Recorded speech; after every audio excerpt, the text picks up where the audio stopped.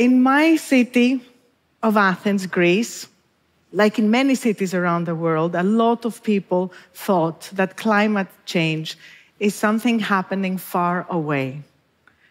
Until ash started falling from the sky and temperatures neared 45 degrees Celsius in the summer of 2021. And they stayed above 40 degrees for several days. The asphalt sizzled and huge wildfires burned the forests around the city, and people died. The last decade has been the hottest ever recorded in our history. Paradoxically, even though we've been talking about global warming for decades, we haven't been talking about extreme heat, especially in urban environments. Extreme heat is the deadliest of all extreme weather phenomena. Very few of us know this. We overlook extreme heat because heat doesn't come with the drama of roofs sent flying and streets turned into rivers. Heat, heat destroys quietly. Yet there is little escape from heat. These are temperatures our bodies are not made for and cannot adapt to. These are temperatures our cities and our infrastructure is not, made for. Uh, the structures of, the, of our cities and the surfaces absorb heat and store it and radiate it at night. Cars and air conditionings add more to the urban environment, and this is a deadly mix. This is what we call the urban heat island. The list of health effects that from heat and from heat waves is long, and it includes significant uh, uh, mental, Ill, mental problems, mental health problems. It also heat um, creates fatigue and loss of sleep, which in turn uh, increases workplace injuries as well as uh, significant losses of productivity. Heat waves also, we know that they increase violence in communities. We have correlated it to increase violence in communities, and also they lower the ability of children to learn. And in the cities, not everybody, of course, is affected equally. The poor, especially the energy poor and the housing poor, are most vulnerable, as well as people with pre existing conditions, uh, people above 60 years old, pregnant women, uh, young children, and uh, people that have manual labor uh, jobs. Um, also, we know that heat has been baking farmers' crops, reducing uh, yields, inhibiting pollination, and more and more farm workers are uh, going to work before daybreak or farming uh, in the night, harvesting in the night. It's just getting too darn hot the great infrastructures that we have built with ingenuity and effort during the last two centuries the dams, the waterways, the highways, the railways they have been carefully engineered for a climate that no longer exists. What can we do? I will talk about cities because that's my territory. As chief heat officer of Athens, I think of all possible efforts in three general categories awareness, preparedness, and redesign. Awareness means that we recognize the threat. It's hard sometimes to persuade people, especially in hot climates, to take heat exposure seriously. So, together this year, together with the Arsht-Rockefeller Resilience Center, we are going to pilot for the first time this summer four cities in the US and Athens, we're going to pilot a new methodology for uh, naming and categorizing heat waves like we do hurricanes. So consider this when there is a category four hurricane, you don't expect a pizza delivery person to bring a pizza to your house, nor do you expect like people to keep working in a construction site. However, we don't have such considerations or policies in relation to a category four heat wave. Because there is no category four heat wave. We don't have metrics and we don't have categories. And I think that this will be a real game changer. So this is just one, one thing, but I think this is important. So awareness leads to preparedness. And preparedness means that you are kind of ready to basically, when the event happens, to protect the most vulnerable.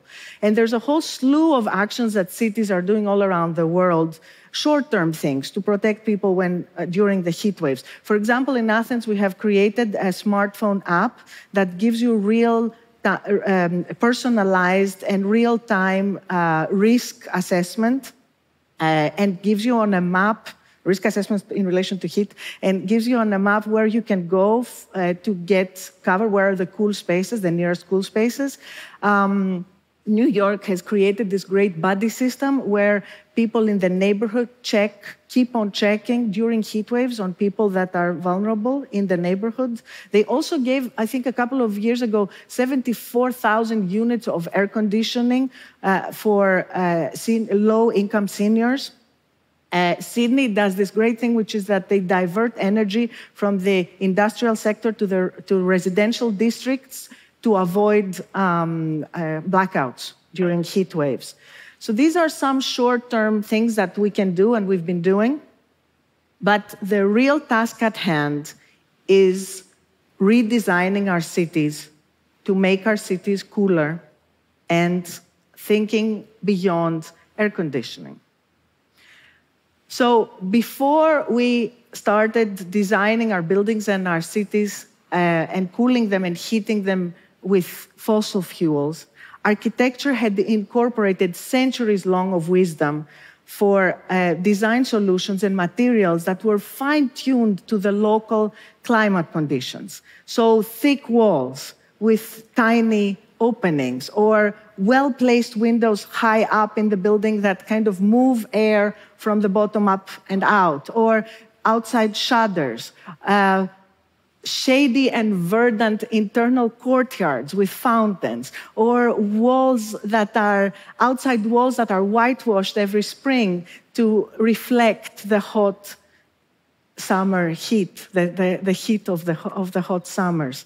So compare these to our concrete steel and glass buildings that are air conditioned and that have sealed windows that basically make our cities into heat traps compounding instead of solving the problem. So, what we really need to do is we need to radically rethink and redesign our urban environments away from the logic of modernity, away from the logic of carbon modernity. Carbon is there from the get go, from the materials that we use for the types of construction, from the way we use the buildings, we heat and cool them, the way we eat, the way we consume, the way we move around in our urban environments.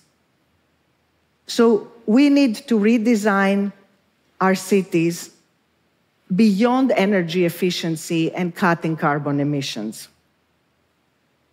We need an urban design revolution, a total paradigm shift that probably needs needs to be led not by architects anymore, but landscape architects that know more about thermodynamics and, and soil and the importance of soils for biodiversity and all these things that can really bring about a, a, a real paradigm shift, a revolution in design, a new type of urbanity that actually is a different metabolic animal. Our cities of the future will be different metabolic systems.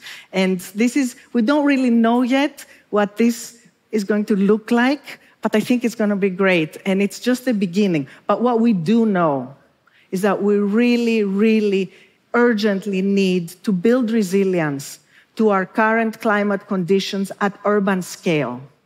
There are materials and um, technologies that are currently being developed that will help but the main thing, the first and foremost and most important thing for bringing down heat in cities is bringing nature into the urban fabric. And this means a radical increase of trees, of tree coverage, of biodiversity, and of water in the surfaces of our cities so that we can bring down the heat.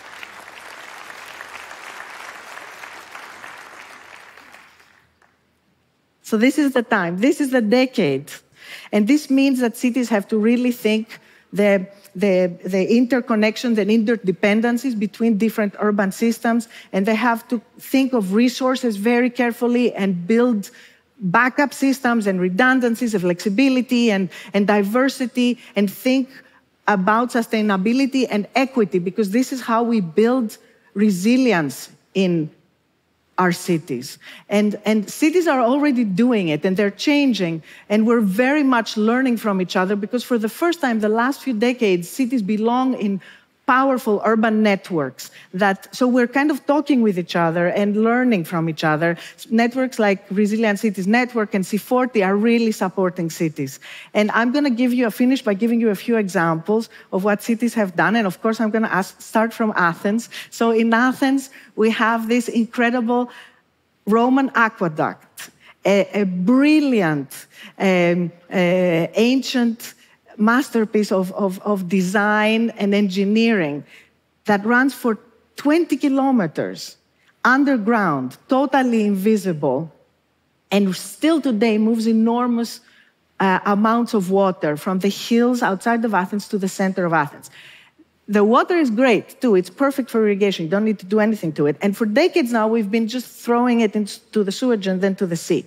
So now this urban aqueduct is going this ancient monument is going to be used to build resilience and lower heat by supporting urban nature for the modern city of Athens. Another great example is Medellin in Colombia. Medellin, they did, they created 36 green corridors.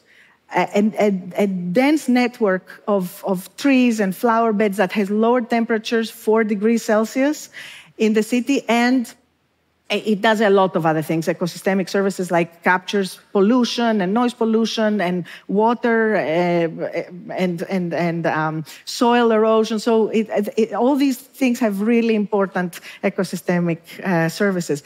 Uh, you probably know Seoul in South Korea. They dismantled a, a highway that was 10 lanes long and, and it had four lanes on top expressway and they to restore a stream underneath and created this blue corridor and green corridor 3.6 miles long a continuous uh, um, space for for wildlife and people to walk and bicycles that that um, not only lowers temperatures uh, they, have measured that it goes up to 5.9 degrees Celsius, that it lowers um, temperatures in that area, but also it, it uh, protects the city from flooding, and, uh, and of course, it attracts thousands of visitors every day, has created a lot of jobs, and has supported business development more than any other part of Seoul.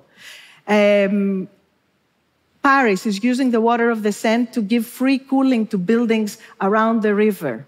Um, and finally, I'll finish with Melbourne in Australia because they have created an incredible strategy that's called Nature in the City Strategy, where they think.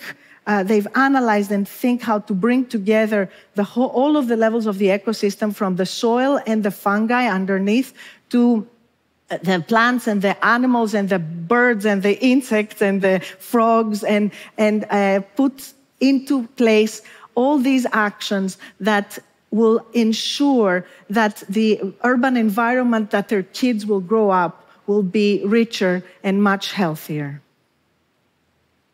So, what keeps me really excited about this work, working to help cities cool down and work against climate change, is also that I, I feel that I'm really helping create much more wonderful cities to live in. So just think about this. Cranking up the air conditioning is just not going to cut it. Thank you.